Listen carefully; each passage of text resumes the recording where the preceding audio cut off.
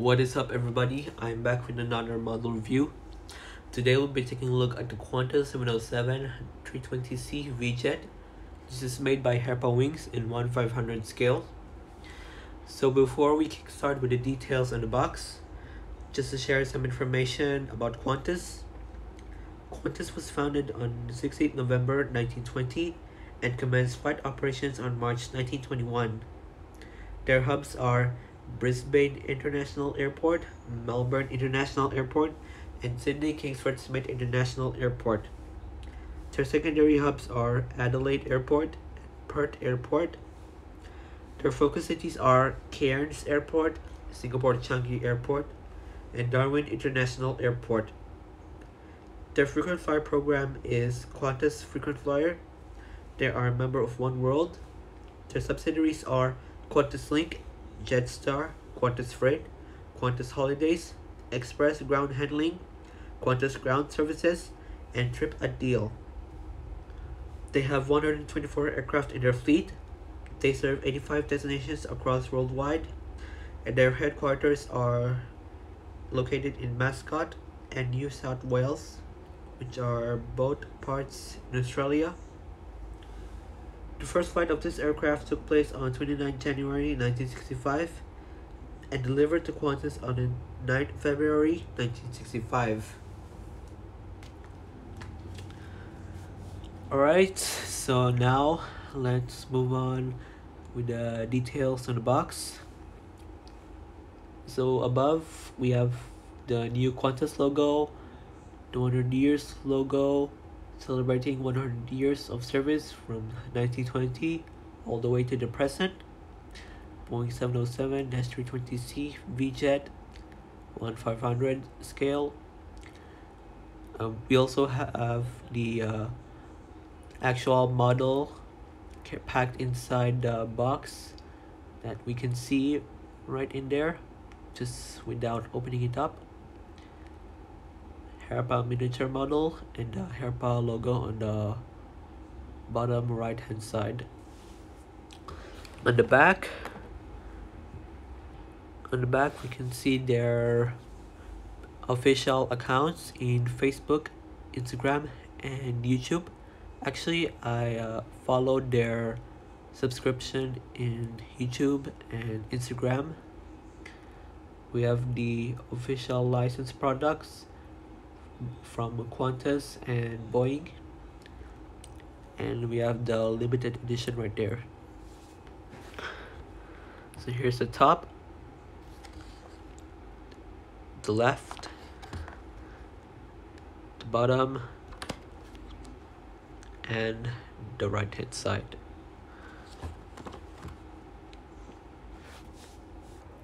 Alright guys the model's been taken out of the box.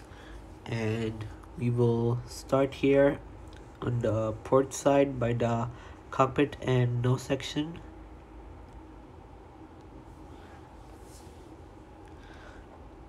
It's better. So first we have the cockpit windows and underneath we have the aircraft name which is City of Parramatta.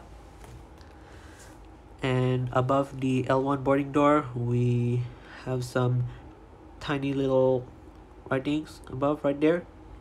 Uh, if you guys can't read it clearly it basically says Qantas which is the airline of this aircraft. Same for the L2 boarding door. Right there.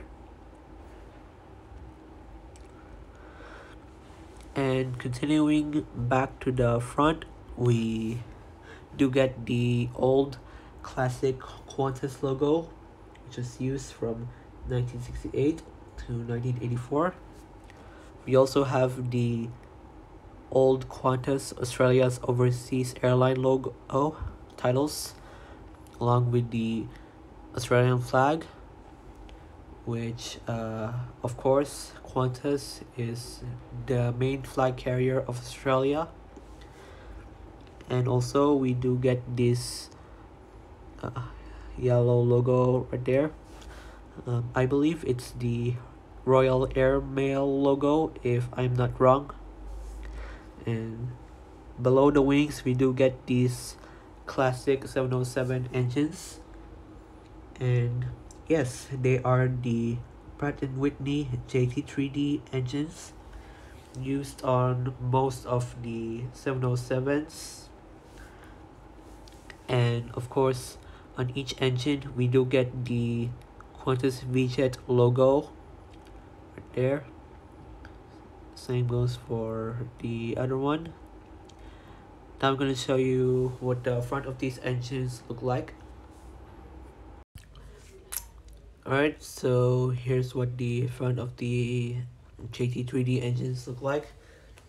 And you can see their jet turbines inside turbofan blades.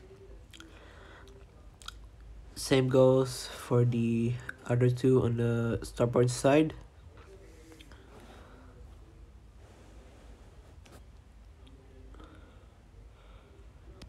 On the edge of the wing we do get the red navigation light while the other on the starboard side is green. On the rear of the aircraft we have the Boeing 707 written below the polished belly. You also have the registration which is Victor Hotel dash Echo Bravo November. And on the tail we have the Qantas VJet logo along with the old classic Qantas logo above. And about the Qantas VJet logo um, VJet was a Qantas destination and refers to the newer turbofan jet aircraft model which is this aircraft the Boeing 707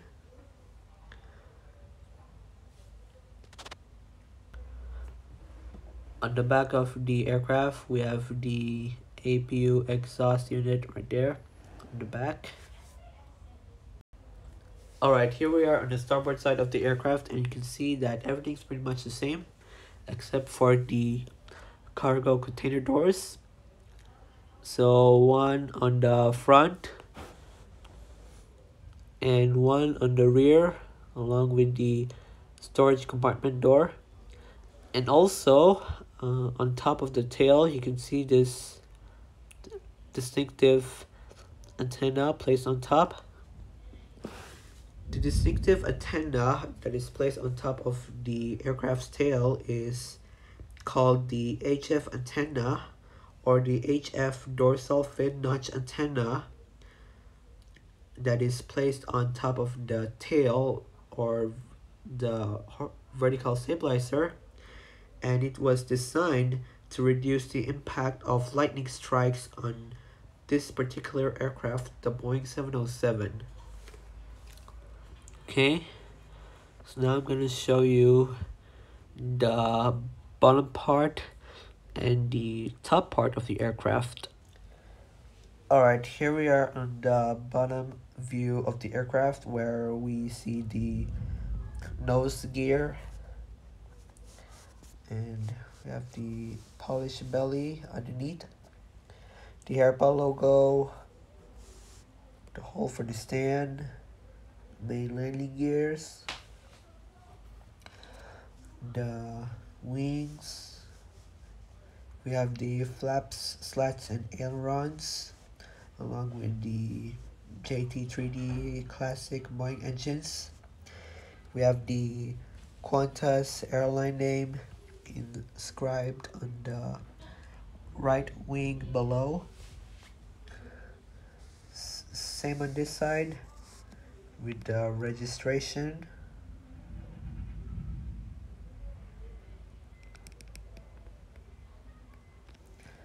Continuing to the back we have the horizontal stabilizers right there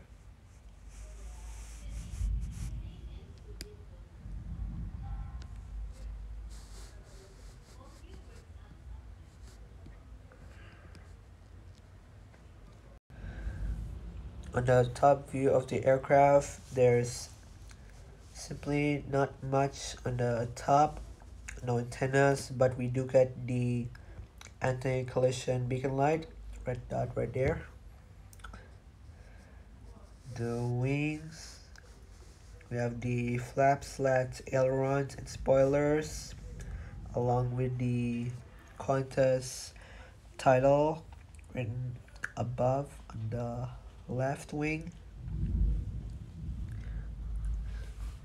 To get the red navigation light right there. Yep. Same on this side with the registration.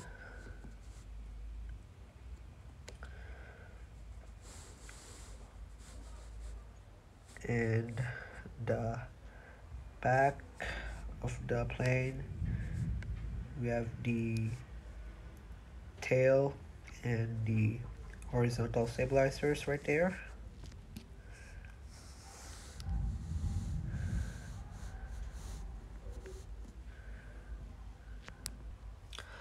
Alright so that is it for today's video. I hope you guys enjoyed it. Please like comment share and subscribe. And as always thank you for watching and I will see you next time